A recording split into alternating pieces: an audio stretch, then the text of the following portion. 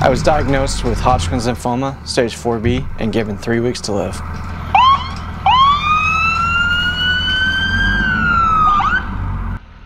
Cancer took a lot from me, but it also gave me a lot. During my cancer treatment, I came up with a bucket list. Um, one of the goals on my bucket list was to do like this adventure bike ride uh, throughout Alaska.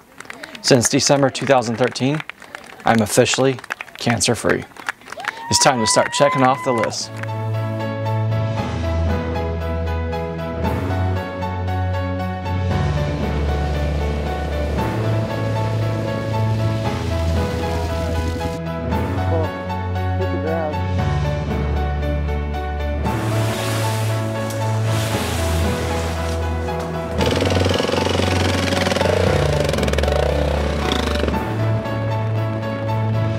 Hello, mister.